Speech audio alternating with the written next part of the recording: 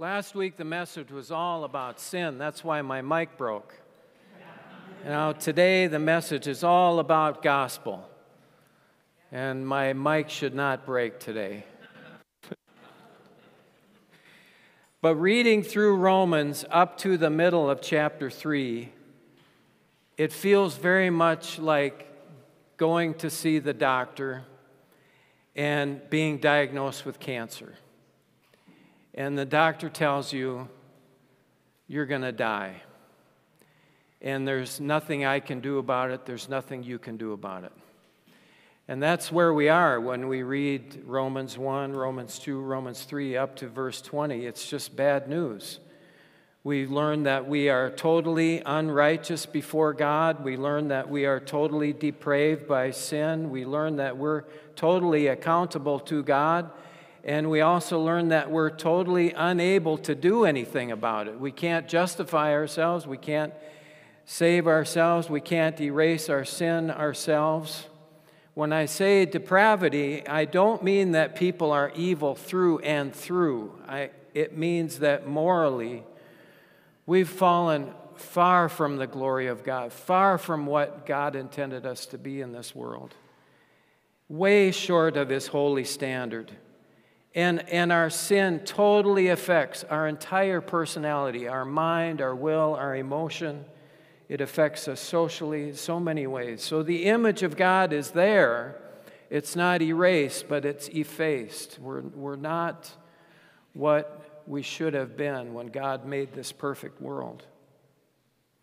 Thomas Sowell, who's now 93 years old, still such a brilliant man, he said, when you want to help people, you tell them the truth. When you want to help yourself, you tell them what they want to hear. I think that's so true. So, Paul doesn't begin Romans by telling people what they want to hear. He's helping people to see their great need for a great Savior and good gospel work must do this. It must not shy away from the bad news. And this is especially true for religious people. Do you know that some of the most lost people in the world are religious people? They're lost in religion. Because a religious person who's raised uh, with religion, maybe even Christianity, they can be tempted to boast in their own goodness their own self righteousness, their own religious rites, their performance, or the works that they've done. But Romans 3:20 says, "No one, no one will be justified before God by their own good works." Now we turn to verse 21. And the first two words are but now. And if you like to mark in your Bibles, I would underline those two words, but now. They're very important because they announce the end of the bad news and they announce the beginning of the good news, which is the second section of teaching in the book of Romans. So let's imagine we're back in the doctor's office and the doctor has just told you that you're dying of cancer, but then he says, but now. And you say, but what? What's up, Doc? Go on. What are you talking about? And then he says to you, Well, he says, there has been revealed to me a new treatment by a specialist. It's very promising, and it's the only way to save you. And you're going to say, What? Tell me. Tell me more. I need to know. What is it? What is it? Well, that's what's happening here in the book of Romans. This section is all about God, God's righteous solution to righteous us, to rescue us from our sin, sickness, and death. So the title today is God's Righteousness Revealed. The outline is first what God's righteous solution is. Second, what God's righteous solution is not. And then third, how should we respond? So let's read ver, uh, first verses 21 to 26. In the Greek, this is all one long sentence, and it's absolutely loaded with gospel. Uh, one Bible scholar called this the most important paragraph in the Bible. I don't know how you could ever decide that. I would never say that, but this is really good stuff. I was glad to hear last Sunday someone from the church at the picnic told me that they're memorizing large chunks of Romans at home. I was so glad to hear that. And I would, I would think that if that is one of your goals, you would want to memorize this passage right here. Let's think deeply about these words. But now, verse 21 apart from the law, the righteousness of God has been revealed, being witnessed by the law and the prophets, but it is the righteousness, righteousness of God through faith in Jesus Christ for all those who believe for there is no distinction. For all have sinned and fall short of the glory of God, being justified as a gift by his grace through the redemption which is in Christ Jesus, whom God displayed publicly, that, that means on the cross, as a propitiation in his blood through faith.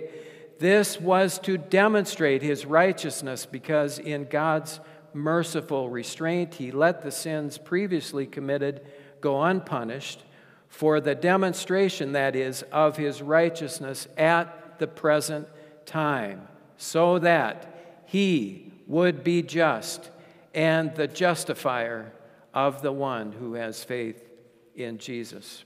This is God's word.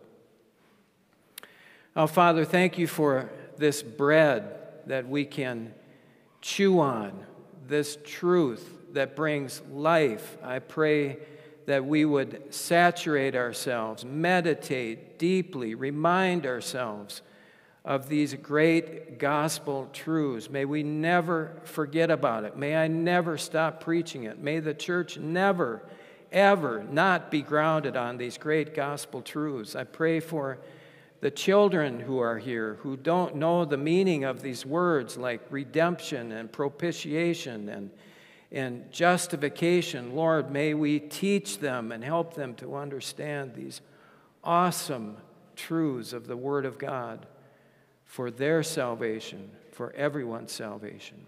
Amen. So, beginning in verse 21, the topic changes from our total depravity and judgment before God to this revelation of our total righteousness and our acceptance before God. Do you like the thought of that? Of being totally accepted before the eyes of God? That's what this is about. Verse 26 says, God is the justifier. That means God declares righteous. He's the just justifier, declaring us righteous. This idea of justification and all these, these words uh, in that family, like just and justifier and justified and justification, that appears 200 times in the New Testament. Do you think that's important? That's an important concept? It is a huge gospel word. We must know it. I think the first definition I heard of justified was this just if I'd never sinned. Justified, never sinned. Now that's pretty good. But it's more than that. It's being justified, being declared righteous. So it's not justified, never sinned. It's also justified obeyed every command ever, give, ever given by God with a total righteous standing and total forgiveness. That is the gospel. So let's look first at what God's righteous solution is. It is revealed, verse 21 says. So this passage tells us that God provides a righteousness that is beyond this world, that is beyond anyone's reach. It's not a righteous supplement like a multivitamin that, that makes up for the righteousness we lack. It's a totally different kind of righteousness. It's beyond human. It has nothing to do with us. We have nothing to, uh, nothing to say about it. It's His righteousness that He reveals. And second, it, it is uh, a righteousness that is witnessed. It's not new in the sense that Paul is making it up. It's been there all along in the Old Testament. The prophets spoke about it. And when we get to chapter 4 next week, we will see how Abraham was a witness of this kind of righteousness. And this is before the law of Moses. This is before the rite of circumcision, which meant that you were in, in, in the kingdom. And so this is the righteousness that Abraham witnessed. We'll read about later. And it is a righteousness through faith in Jesus Christ. Faith here means trusting in someone else, trusting in the work, the word, the righteous life of Jesus. God, God doesn't pull this revealed righteousness out of a hat somewhere and give it to us. The righteousness he's giving with us is the righteousness that is in Jesus. That is what he credits to us by faith. And it's for all people. All have sinned and fall short of God's glory, but by faith, all can be made right by Jesus. There's no distinction. It doesn't matter if you're rich or poor, if you're Jewish or Gentile, if you were raised as an atheist or raised in a Christian home. It's for everyone without distinction. Everyone who would be righteous by God must come to Jesus. And it's a righteous gift by His grace. This, this righteousness is freely given by God. It does not cost us anything. We don't deserve it. We don't earn it. It's by grace. And, and here's another definition what is grace? God's riches at Christ's expense. Grace. Jesus paid for it. And, and it's a righteous redemption through Christ. Redemption means Christ died to pay the ransom price to liberate us from our slavery to sin. Many, many citizens in, at Rome at this time were slaves. They understood this concept of redemption, that there were ways and methods for them to be purchased out of slavery. Well, Christ is our redemption. He paid with his life to set us free. And, and it's also a righteous propitiation in Christ's blood. Propitiation. Did anybody use that in a sentence this week? It's another great gospel word. We don't want to lose the meaning of this. It, it means to appease, to be merciful. So the blood of Jesus holds back appeases God's wrath so then it, in his mercy he can be restored in fellowship with us. So this language here is from the Old Testament, from the Holy of Holies, and the mercy seat. It's the same word as used to describe the mercy seat. Remember the mercy seat? That's the cover of the Ark of the Covenant.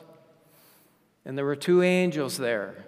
And the high priest would go into the Holy of Holies, stand in front of the Ark of the Covenant once a year, and he'd make atonement for the sins of Israel. How would he do it? He would stand before the Ark, right in front of that cover, and he would take goat's blood and he would sprinkle goat's blood on that cover. And that would propitiate God. That would atone for our sins. But it was only for a year. You had a year of life insurance. but Jesus propitiates us once for all time. He covers and he turns the wrath of God away from us. He is God's mercy seat. And then this righteousness is available at this present time. God's righteousness, God's forgiveness, God's mercy is available to anyone, anywhere, not tomorrow, but today, this moment, the moment anyone trusts in Jesus' saving work on the cross. You are justified, your sin is completely removed, and you are clothed in the righteousness of Jesus Christ once for all time. That is God's righteousness revealed. So, this gospel is about a provided righteousness. It has nothing to do with us, it has everything to do with Jesus. And when we think about communion today, remember that on the cross there was a double substitution. Jesus took our sin, He died in our place. God transferred Christ's righteousness to our account. And in this way, God is both, both just and He's the justifier because a just God always punishes sin. And a justifying God has to have a means to make us righteous, to declare us righteous. And he does that by transferring the righteousness of Christ to us. This is the gospel.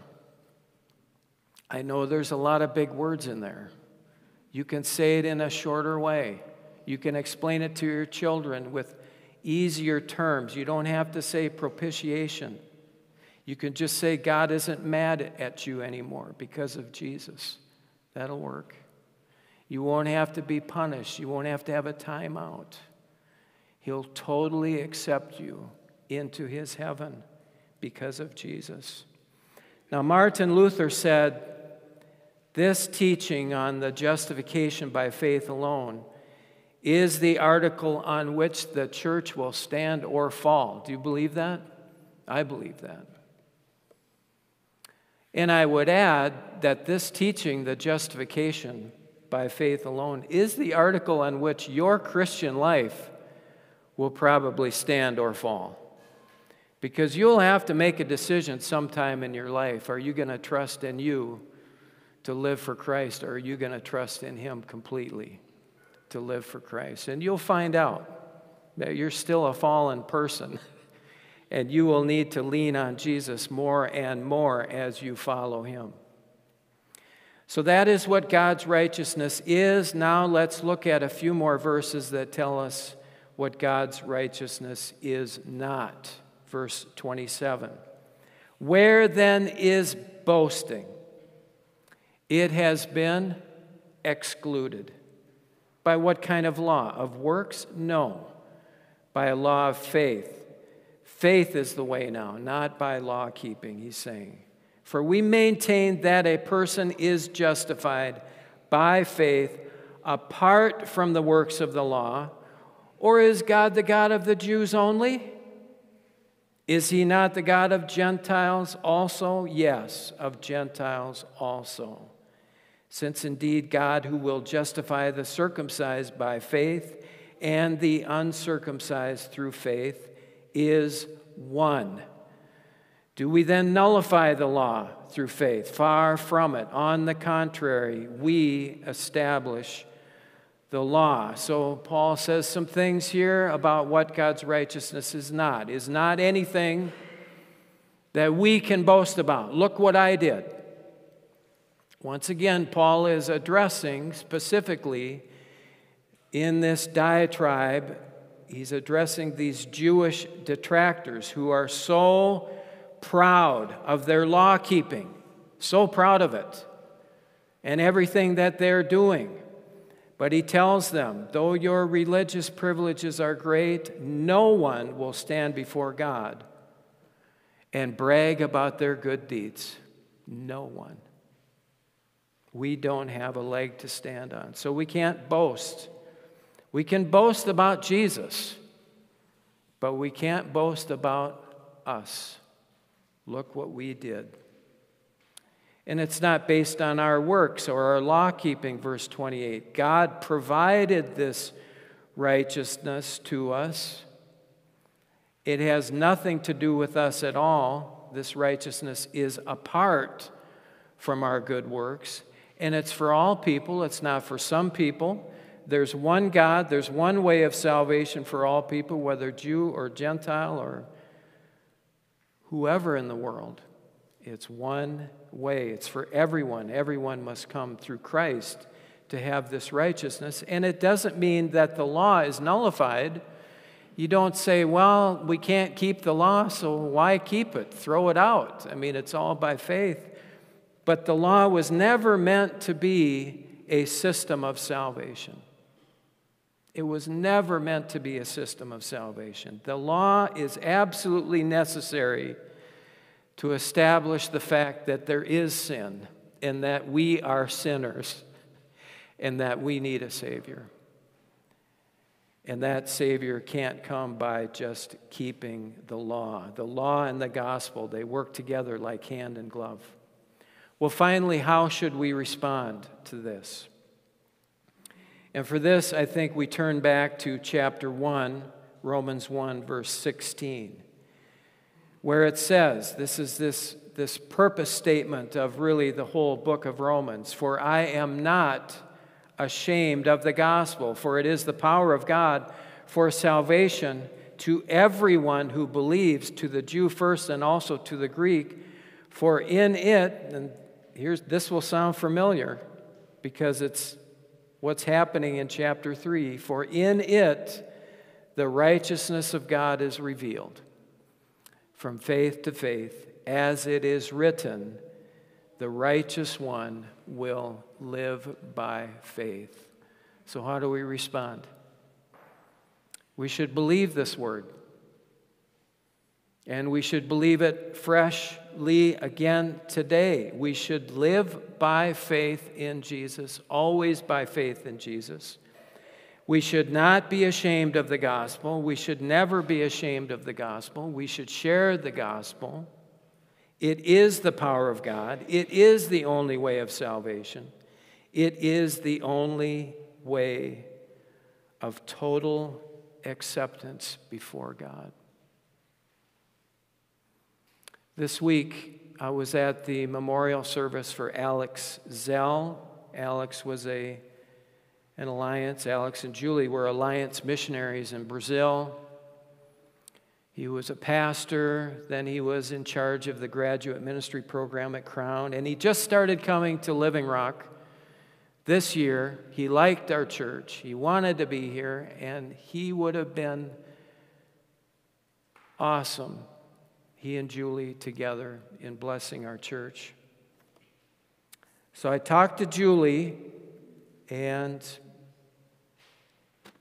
I wanted to know what was happening in those last hours. And they went on their family trip to see the national parks out west. I think they were in Glacier, and then they had friends up in Calgary, Alberta, and they were just crossed the border into North Dakota. Julie was sleeping. Alex was listening to an audio book, and the audio book was about how to share your faith with lost people. And Julie leaned over and looked at Alex, and he was weeping. Tears coming down his face. And she surmised that he was weeping for the lost. That's what Alex was thinking about before he had that massive heart attack. He, he told Julie, I'm tired. He went over into the passenger seat and he said, I don't feel good. And his heart gave out. But he had five hours, five hours to live as she watched his heart rate decline in the hospital. He got to talk to all three daughters, he got to talk to Julie. He had made his peace with God, he had shared his faith with everybody he met, and he is at peace with Jesus today. Amen.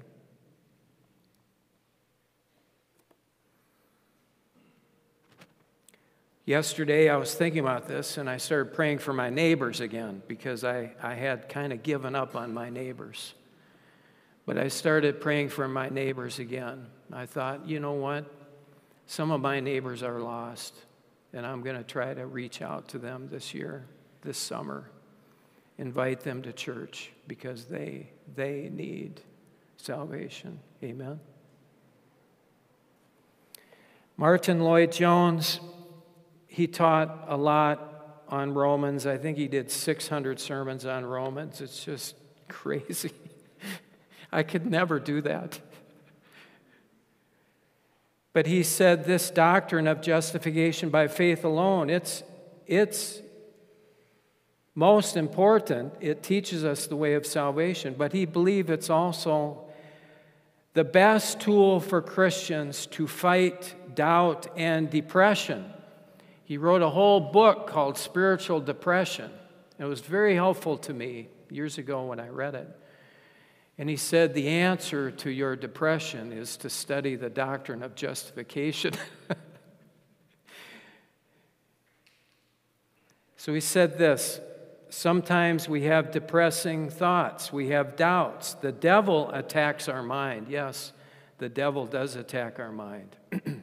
and then we begin to think we're not a Christian, we're not a very good Christian.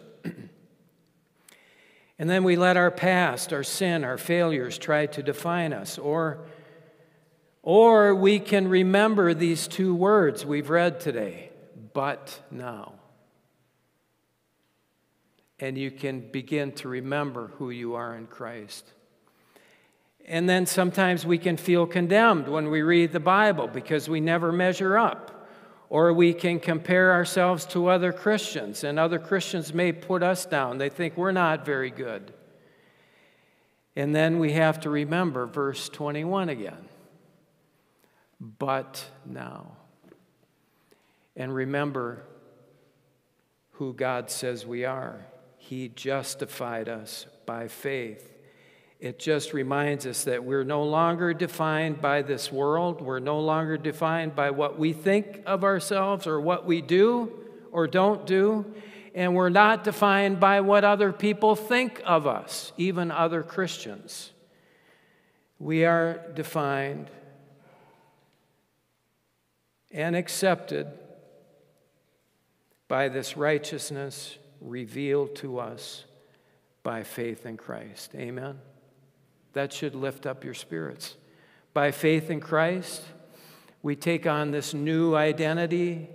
We're fully accepted, we're fully forgiven, we're deeply loved, we're clothed in this perfect, righteous robes of Jesus. That is who God declares us to be. He justifies us by faith.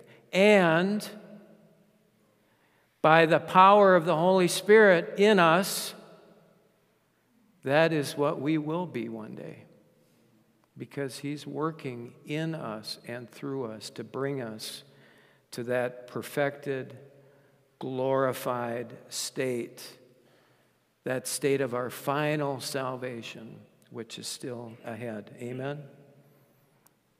This is the gospel. Pray with me. If you're here today and you have doubts about what you believe, and you want to receive Jesus as your Savior and Lord, will you pray the short prayer with me?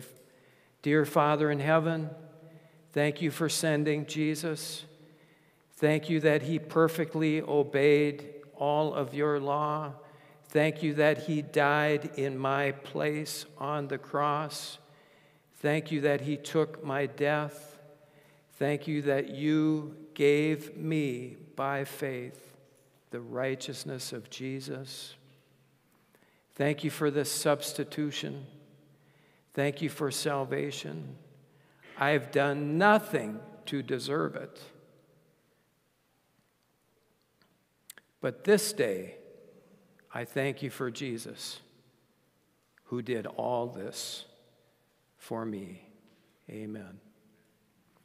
Now, before we take communion today, I'd like us to make a confession of our sin and know that full cleansing of God this morning from Psalm 51.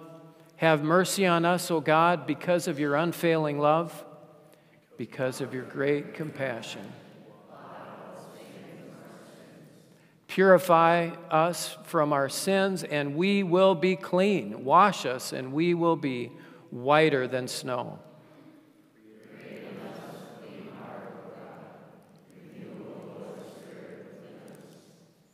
Amen.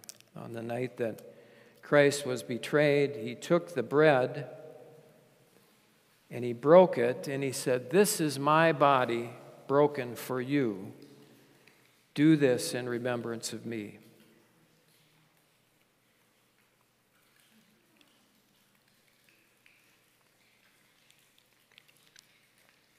Then he took the cup. He said, This cup represents a new covenant, a new promise for the forgiveness of sins. Do this in remembrance of me.